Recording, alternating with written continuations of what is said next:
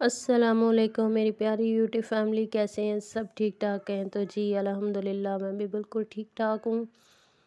तो आगे एक नए वीडियो के साथ तो आज मैं बना रही थी चिकन का पुलाव। तो मैं इनका चैलेंज इतने दिन हो गए, आप लोगों से कोई रेसिपी शेयर कर देती हूँ।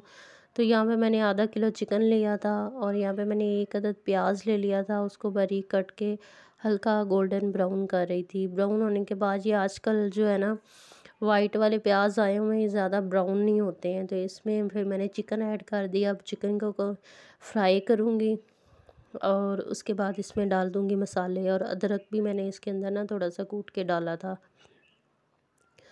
तो अदरक का चावलों के अंदर फ्लेवर जो होता है ना, वो अच्छा आता है। लहसुन हम लोग इस्तेमाल नहीं करते, अदरक में करती हूँ तो वो मैंने कूट के डाल दिया हुआ था। यहाँ पे चिकन फ्राई हो रहा है तो इसमें मैंने सारे मसाले वगैरह ऐड कर दिए हुए हैं। सूखा धनिया, लाल मिर्च, नमक, ज़ीरा, गरम मसाला, कुछ थोड़े से मोटे मसाले। तो ये सारे ऐड करके मैंने इसको अच्छे से मुर्गी को फ्राई करूँगी। फ्राई करने के बाद अब पानी ऐड करेंगे और देन जी इसको पकने देंगे। तो इसमें ये मैंने पानी वगैरह डाल दिया हुआ है। जैसे मेरे चावल थे दो गिलास तो चार गिलास मैंने पानी ऐड कर दिया था। तो इस तरह से आप जो है ना चीज़ें नाप तोल के बनाएँ तो फिर अच्छी बनती हैं। तो ये देखें जी, चावल हमारे आज हम लोग ना खाना लेट ही खा रहे थे क्योंकि भाभी वगैरह घर पे नहीं थे, वो लेट आए थे तो इस वजह से मैंने फिर लेट ही दम लगाया था। फिर बच्चों को लग गई भूख और खाना तो रेडी था, फिर उनको मैंने ना ये वाले आलू के बनाए हुए थे चीज़ बॉल तो मैंने उन्हें ये फ्राई करके दे रही थी। कि चले ये तब तक ये खा लेंगे। उसके बाद फिर खाना तकरीबन हमने दस बजे के करीब खाया था। इंतज़ार करते रहे। तो प्लीज़ मेरी वीडियो को मुकम्मल देखा करें। लाइक, शेयर, सब्सक्राइब कर दिया करें। जो मेरे चैनल पे नए हैं, वो जी सब्सक्राइब करें। प्लीज़ आप लोगों के सपोर्ट की मुझे बहुत ज़्यादा ज़रूरत है। आप लोग आते हैं वीडियोस देखते हैं और निकल जाते हैं। सब्सक्राइब कर दिया करें। यार, कुछ नहीं होता। जो फॉलो करते हैं, फिर अनफॉलो कर देते हैं। तो ये देखें जी, हमारे खिले खिले चावल बन के रेडी हो चुके हैं। बहुत ही मज़ेदार मुर्गी वाले चावल बने थे, क्योंकि मैंने हल्की आँच पे ना रख दी थी इसकी यखनी वगैरह निकलने के लिए। जितनी जल्दी देर से आपकी मतलब यखनी निकलेंगी ना मुर्गी की तो उतने ही अच्छे आपके चावल बनते हैं। तो यहाँ पे जी देखिए, इतना लंबा लंबा चावल है और आपके चावल भी जो है ना अच्छे होने चाहिए। उसके बाद जी नेक्स्ट डे था, यहाँ पे मैं सफ़ाई वगैरह कर रही थी। जब से मैं गाँव से आई हूँ ना, एक तो मेरी तबीयत नहीं ठीक है, उससे काम इतना ज़्यादा हुआ हुआ था। बाहर से गलियाँ वगैरह भी बहुत गंदी हुई थी, आंधी आई थी तो बहुत ज़्यादा पत्ते वगैरह आए हुए थे। वो सफ़ाई वगैरह की, उसके बाद फिर मैंने अपना बैग वगैरह खाली किया, उसको धोया और कपड़े वगैरह अपने धोए आज। और उसके बाद फिर मैंने यहाँ पे शावर वगैरह लेके ना बाहर ग्राउंड में जाके बैठ गई थी और ये था मीठा मुरंडा। जो मैं साथ ये खा रही थी, इसको पूड़ा बोलते हैं आई थिंक तो फिर उसके बाद शाम को सब लोगों ने पीनी थी चाय तो सबके लिए मैं चाय बना रही थी। यहाँ पे अम्मी के लिए ग्रीन टी बन रही थी और बाकी सब जो थे वो लिप्टन चाय पीते हैं।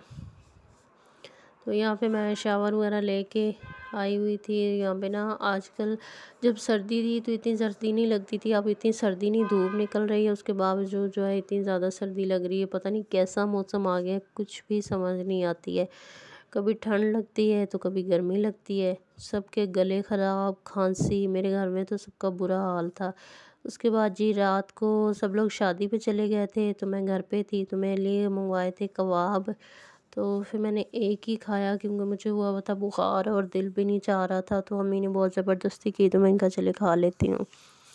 तो ये फूल भाभी लेके आई थी तो मैंने इन्हें पानी में डाल के रखा, घर में कोई भी नहीं था, मैं अकेली ही फिर रही थी बंदरों की तरह। डर भी लग रहा था, फिर टीवी चला लिया, थोड़ी देर टीवी वगैरह देखा और रात के दस बज रहे थे। तो यार, बहुत खामोशी होती है तो डर भी लगता है कभी कभी तो बस यहाँ पे अकेली बैठ के बातें कर रही थी। वो अपने आप से ही टाइम स्पेंड कर रही थी। तो बस इसी तरह आजकल आजकल मेरा ना दिल भी नहीं चाह रहा वीडियोस वगैरह बनाने का। बिल्कुल नहीं दिल चाह रहा। जब से घर से वापस आई हूँ ना तो उदास भी बहुत हूँ और अच्छा सा वहाँ सबके साथ टाइम गुजारा बहन भाई सब इकट्ठे हुए हुए थे, बहुत मज़ा भी आया और बस फिर दिल नहीं चाह रहा था, अब उदासी हुई हुई है। उसके बाद नेक्स्ट मॉर्निंग जी यहाँ पे मैंने जो आलू के कटलेट्स बनाए थे, वो फ्राई कर रही थी और साथ में चाय वगैरह तो ये सब कुछ हो रहा था। तो बहुत ही अच्छे बने थे ये वाले सबने आज खाए थे, कल हमने नान और चने का नाश्ता कर लिया था। और आज फिर मैंने ये फ्राई किए थे। तो इसको मैंने क्रम्स और अंडा लगा के रख दिया था और उसके बाद जी आज मैंने फ्राई कर लिए थे। पहले से तैयार करके चीज़ रखे ना तो फिर अच्छे से हो जाती है। तो बाहर निकली हुई थी बहुत अच्छी धूप। यहाँ पे ना धूप निकलती है लेकिन यार ठंडी हवा चल रही होती है साथ। तो बस इस तरह से बहुत ही अजीब सा मौसम हुआ हुआ है। यहाँ पे फिर मैंने नाश्ता किया, ब्रेड और एक मैंने कटलेस खाया और साथ में कैचअप रखी तो साथ में मैं नाश्ता आजकल एक बड़ा अजीब सा मसला हुआ, चाय पीने को दिल नहीं चाह रहा। किस किस का दिल नहीं चाह रहा, ज़रूर बताइएगा।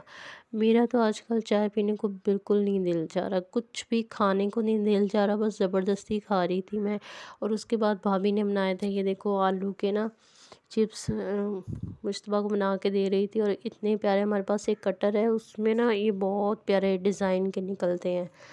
तो फिर मैं साफ़ फ्राई कर रही थी और भाभी जो थी वो इस तरह से उन्होंने कट किए थे, बहुत प्यारे डिज़ाइन के निकले थे, जो बच्चे कुछ भी नहीं खाते ना खाना वगैरह, उनके लिए इसी तरह डिज़ाइन के नए नए डिज़ाइनों के बना के दें तो बच्चे बहुत खुश होते हैं। उसके बाद फिर मैं ऊपर आ गई तो यहाँ मैंने नमाज़ पढ़ी। नमाज़ पढ़ने के बाद फिर मैं वीडियो वगैरह एडिट करने बैठ गई। तो मिलते हैं किसी नए वीडियो के साथ। तब तक बाय बाय। अल्लाह हाफिज़। मेरी प्यारी यूट्यूब यूट्यूब फैमिली खुश रहें, आबाद रहें। अल्लाह ताला आप लोगों की सारी दिल की मुरादें पूरी करे और हमारी भी करे। आमीन जी। सुम आमीन। तो मिलते हैं किसी नई वीडियो के साथ। Bye bye. अल्लाह हाफिज़।